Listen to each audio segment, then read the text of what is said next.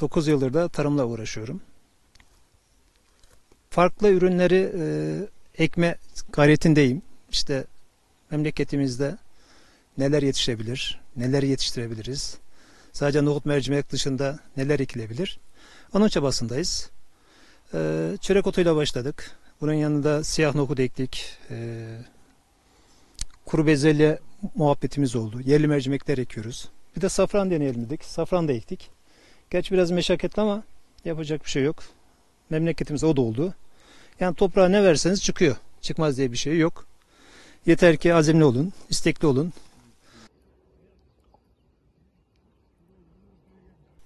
Çok yıllık. Dört, bu ikinci senesi. Geçen sene fazla çıkmadı. İlk sene olduğu için yağmur yaş yağmadı daha doğrusu. Yağmurlar geç geldiği için böyle e, numunelik diyeyim size. 50-100 tane falan civarında çıktı.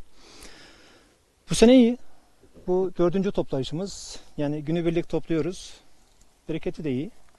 Ama dediğim gibi e, tekrar toplamak, içinden ayırmak, etmek o biraz zahmetli bir iş. Buna zarar vermeyeceğiz. Köküne. 80 bin adet soğan diktik buraya.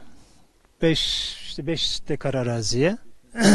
Normalde Safranbolu'da yetiştiği söylenir ama artık sorgun safran da oldu. Olabiliyor burada da olabiliyor. Onu gördük. Kullanılıyor. Boya sanayinde kullanılabiliyor. 1 gramı 1000 litre suyu boyayabiliyor.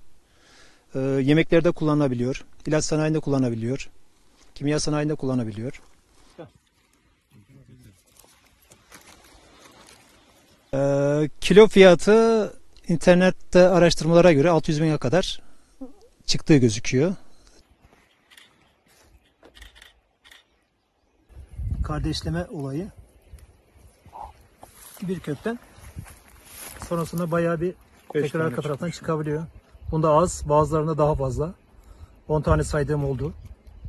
Yani habire bunlar arkada gelecek ve biz de onları toplayacağız ve aradan da hala çoğalacak bunlar.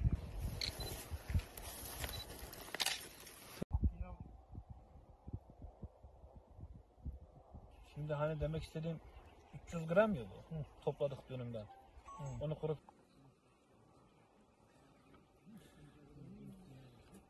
Sonra bu stigmalar elle veya cımbızla ayrılarak İlkler tek tek elle kopardıktan sonra bunlar bir yere serilip şu stigma dediğimiz esas safranımız bu. bu bunlar tek tek elle veya cımbızla ayrılıp biriktiriliyor. Esas safran bu. Yani işte 1 gramı 1 ton suyu boyayabiliyor.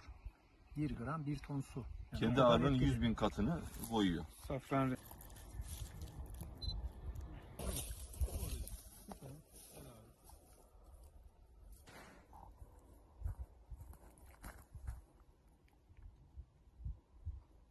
Ee, Biraz zahmetli dediğim gibi. Meşakkatli bu işi. Her sabah gelip toplamak gerekiyor ve geri gidip bunun aralarından aynı gün e, ayırmak gerekiyor. Elle topluyorsunuz. tek. Elle toplanıyor. Makineyle yapılacak bir şey değil bu çünkü.